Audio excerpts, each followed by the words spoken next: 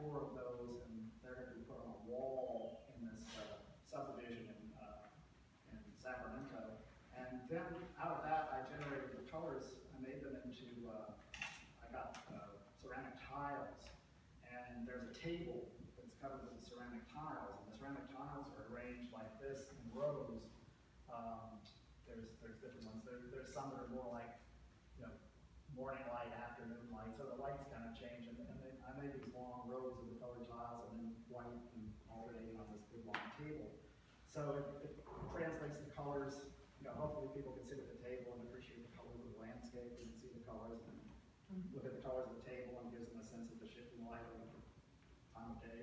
And, uh, But anyway, it's, uh, that, uh, color key idea kind of came out of that, and now I, now I kind of throw that in just as, oh, I'll just put another color key in here.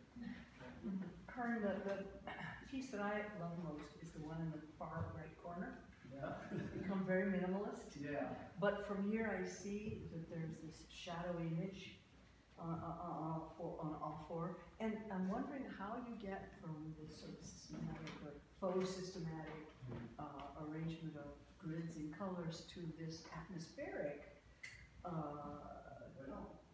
kind of work, which I consider to be so much more romantic. well, that's just trying to paint a piece of white paper. I mean, it's not right, and studio the next day, and I look at it and say, it's so dark, you know, it's brown, it's gray, it's not white paper. And I would paint those over and over, the reason you see these, uh, underlying layers there is because I would just, I would, I would start drawing, and I'd put some lines on there, and then I come in and say, no, I have to start from the ground up. But why did you start to reduce it to that in the first place, after you're so interested in this uh, systematic use of color squares and coordinating things, and then suddenly Well, the there's idea this. was to get to the color squares eventually with that, I just get there. I kept repainting the paper all the time, and I never got beyond that. And- finally I got, I thought, well, maybe I'm making progress now that I'm just painting the paper, and that'll be the better idea. Okay, But the idea is eventually, like these ones on the wall here that you can't really see where they get very complicated, they're, they're still kind of like four part uh, grid compositions with Right. a lot of colors and drawing.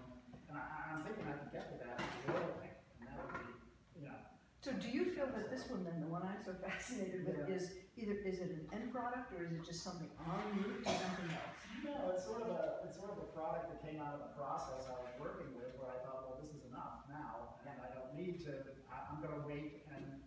Because I'm thinking of it in terms of minimalism, you know, I mean, Yeah. Judd and all that sort of Yeah, stuff. it's, it's, And which I don't usually associate with your work at all. no, well, this is not, uh, I'm not, uh, painting it in a kind of minimalist way, you know, Right. it's all, like you say, very romantic, so it wouldn't pass. It's muster. Both, it's both, both, yeah, romantic and and Yeah. minimalist. at the same But time. it's a, um, you know, it, it- it's something that I feel like, well, now I've got that, and I could do another one, and then maybe see, start adding some lines to it. This one I did with the color, I was actually, that one actually came out, I was thinking about Jasper Johns, so my idea with that was to just, uh, Mhm. introduce color in that way. And, uh, you know, I kind of, well, anyway, Yeah. uh, that's another idea.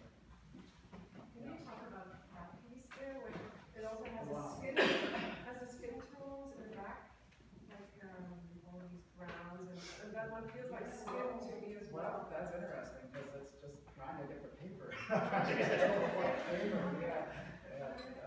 uh, but I find it really fascinating, just the way, uh, a little bit of variation, suddenly you start seeing, you know, changes in the surface